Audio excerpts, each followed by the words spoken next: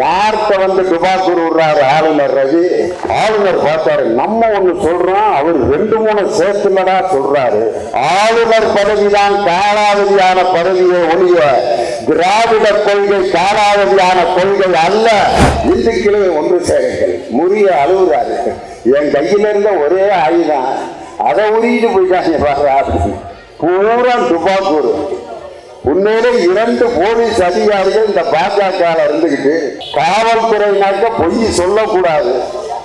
ஆனால் வாய் நிறைய பொய்ய சொல்லி அந்த பொய்யுக்கெல்லாம் கிட்டத்தட்ட ஒரு அரை மணி நேரம் ஒவ்வொருத்தரும் மேடையில பதில் சொல்ல வேண்டிய கட்டாயம். சொல்றதுக்கு கூட்டக்கூடிய விஷயங்களை அப்படியே படம் எடுத்து அதை பொய்யான விளம்பரத்தை மலிவான அரசியல் செய்வார்கள். குடிபோதையுடன் நியோனி வந்ததால் மக்கள் தகராறு. இந்த கையில கயிறு கட்டியிருக்கேன். அதுக்கு பிடிச்சிட்டான் ஒருத்தன் லியோனி திராவிட முன்னேற்ற கழகத்தின் மேடையில் பேசுபவர் கயிறு கட்டலாமா வாழ்நாள் முழுவதும் எப்போது ஆகாத ஒரே மருந்து எது என்றால் அது பெரியார் தந்த திராவிட மருந்து தான் யார் அங்க? ஐயா பஞ்சாயத்து அங்கிட்டு போய் வைங்க. ஒரு சால்வைக்கு முக்கால் மணி நேரம் ரகலையா? உலகத்திலேயே தனக்கு சால்வை வேண்டாம் அதற்கு பதிலாக புத்தகத்தை தர வேண்டும் என்று சொன்ன ஒரே தலைவர் முத்தமிழறிஞர் டாக்டர் கலைஞர் தான் அப்படின்னு சொன்ன உடனே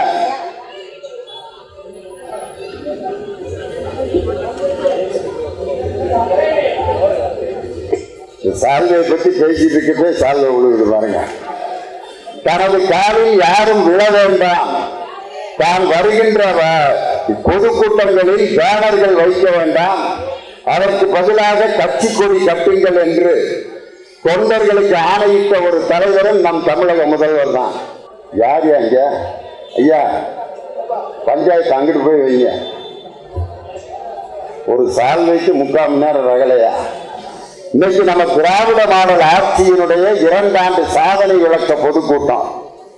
இன்னைக்கு பார்த்தீங்கன்னா கடந்த ஒரு வார காலமாக நமது தமிழக ஆளுநர் மேலது ஆர் என் ரவி அவர்கள் இன்னைக்கு ஒரு அரசியல் கட்சி தலைவரை போல ஒரு சாதாரண தலைமை கழக பேச்சாளரை போல பிஜேபி கட்சியினுடைய ஒரு சாதாரண பேச்சாளர் என்ன பேசுவாரோ அதை ஒரு ஆளுநராக இருந்து கொண்டு அவர் பேசிக் கொண்டிருக்கிறார்.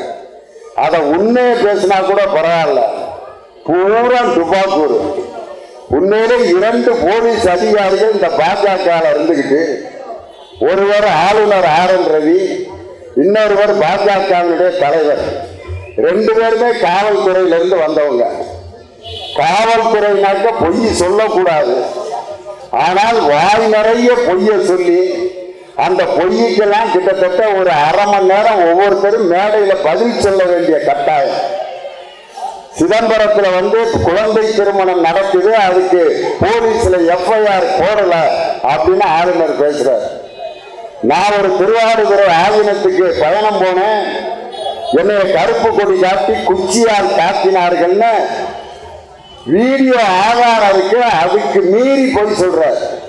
அவர் போன பிறகுதான் அந்த கருப்பு கொடியவே காமிச்சாங்க. ஆனால் குச்சியால் என்னை காட்டினார்கள் நாட்டில் சட்டம் ஒழுங்கு கெட்டுவிட்டது. பாரதிய ஜனதாவுக்கு இதுதான் வேலை. எது ஒரு ப- சொல்றதுக்கு கூசக்கூடிய விஷயங்களை அப்படியே படம் எடுத்து அதை பொய்யான விளம்பரத்தை மலிவான அரசியல் செய்வார்கள். போன வாரம் நான் மலேசியாவுக்கு போயிருந்தேன். நாலு நிகழ்ச்சி நடத்துறதுக்கு என்னை கூட்டு போயிருந்தாங்க. வர்றப்ப அதிக மழை காரணமாக எங்க வாகனம் பழுதாகி எங்க நிகழ்ச்சி அமைப்பாளர் சரியான நேரத்தை எங்களுக்கு சொல்லாம அந்த பினாங்கிக்கு நாங்க போறப்ப அஞ்சு மணிக்கு நிகழ்ச்சி அனௌன்ஸ் பண்ணியிருந்திருக்காங்க நான் ஏழு மணிக்கு அங்க போய் எங்களை இறக்கி விட்டாங்க. பினாங்கு நாட்டில் எனக்கு எங்க வழி தெரியும். அவன் கொண்டு போய் இறக்குற இடத்துல நிகழ்ச்சி நடத்த வேண்டியதுதான்.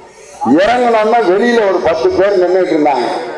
அதுல ஒரு குரூப் ஏன் லேட்டு நாங்க அஞ்சு மணில இருந்து காத்துட்டு இருக்கோம். எனக்கு அதுக்கு சம்பந்தமே இல்லைங்க. நிகழ்ச்சி நடத்துறவர் அவர்கிட்ட தானே டிக்கெட் வாங்கினீங்க. அவர்கிட்ட கேளுங்க. இல்ல நீங்க தான் பதில் சொல்லணும். டிவி அப்படி பேசுறீங்க இப்படி பேசுறீங்க திமுக மேடையில பேசுறீங்க அப்படின்னு சொன்னோன்னே கண்டுபிடிச்சேன். மாப்பிள்ளை இங்கேயுமா இருக்க நீ? திமுக மேடையில பேசுறேன்ட்டு அங்க சத்தம் போடுறேன் ஒருத்தன் அங்க இருக்கான் பாருங்க ஒரு ஆளு. திமுக மேடையில மட்டும் அப்படி பேசுற?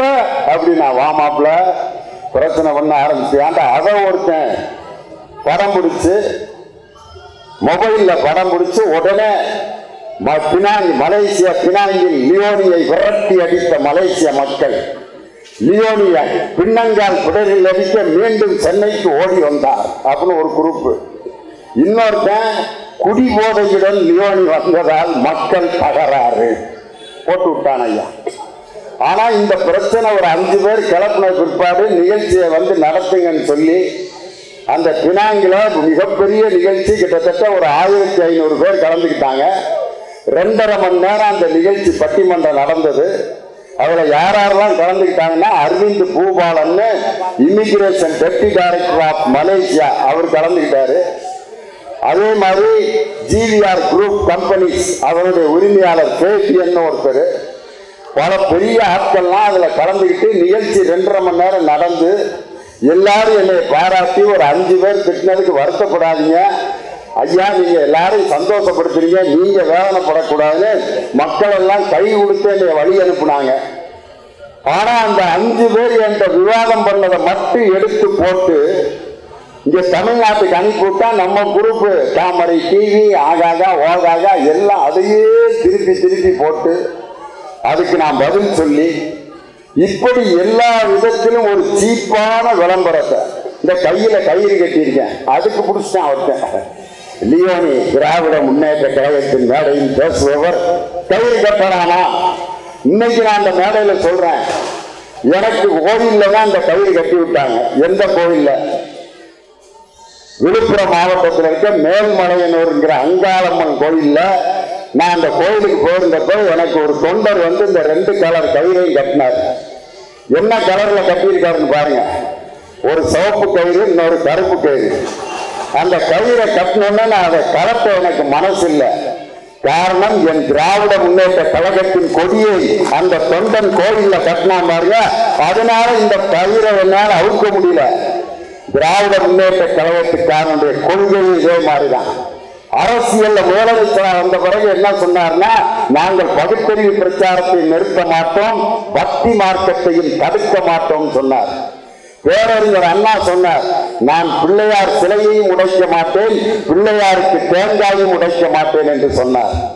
இன்னைக்கு நம்ம தங்க தளபதி தமிழக முதல்வர் இன்று அவர் வந்து இந்து சமய அறநிலையத்துறை மூலம் அந்த கோயில்களுக்கு வேற எந்த ஆட்சியிலும் செய்யாத அறப்பணிகளை செய்து கொண்டிருக்கக்கூடிய ஒரே முதலமைச்சர் நம் தமிழக முதலமைச்சர் தான். ஆனா முருகன் கையில் இருக்கிற வேல்கம்ப வச்சு அரசியல் செய்வது பாஜக. திருத்தணியில் இருக்க முருகன் கையில் இருக்க வேலை புரிஞ்சிட்டு ஊர்வலம் போறார். யாரு? மத்திய அமைச்சர் முன்னாள் பாஜக தலைவர் முருகன். ஊர்வலம். வேல்கம்பு ஊர்வலம்.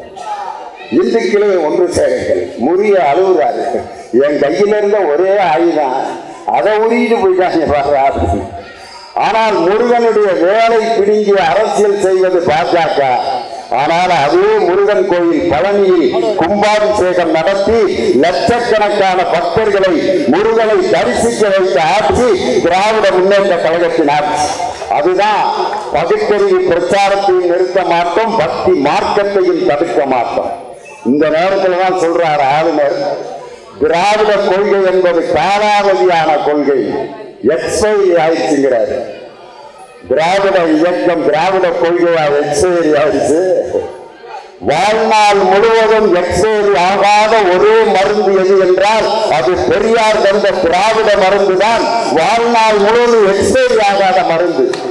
ஒரு தாய்ப்பாலை ஒரு மனிதன் குடித்தால் அவனுக்கு நோய் எதிர்ப்பு சக்தி எப்படி வருகிறதோ அதுபோல திருக்குறள் மூலம் அறத்துப்பால் பொறுப்பால் காமத்துப்பால் என்று முப்பாலையும் குடித்து திராவிட சிந்தனையில் வளர்ந்த இனம் நம் தமிழினம் அதனால காலாவதியான கொள்கை திராவிட கொள்கை அல்ல.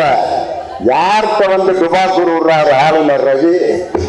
என் தலைவர் வந்து பதவி பிரமாண தன்னைக்கே தான் யார் என்பதை நிரூபித்த தலைவர். ஆளுநர் பன்வாரிலால் புரோஹித் அந்த இடத்துல நிற்கிறார் அந்த மைக்கிட்ட. நம்ம தலைவர் இங்க இருக்கிறார் முதலமைச்சரா பொறுப்பேற்கிறது ஆளுநர் பன்வாரிலால் புரோஹித் சொல்றார் ஐ எம். கே. ஸ்டாலின் அப்படின்னார். உடனே நம்ம தலைவர் என்ன சொல்லியிருக்கணும்?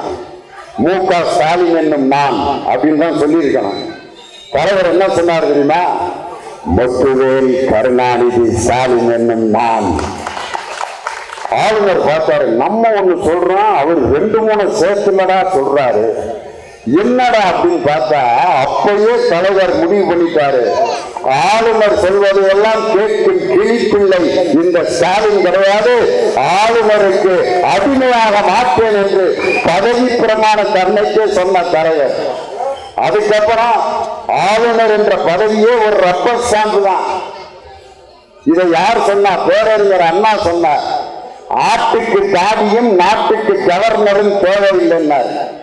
ஒரு செம்மறி ஆட்டுக்கு இந்த இடத்துல தாடி இருக்கும் அந்த பேடினால அந்த ஆட்டுக்கு அஞ்சு காசுக்கு பிரயோஜனம் இல்லை.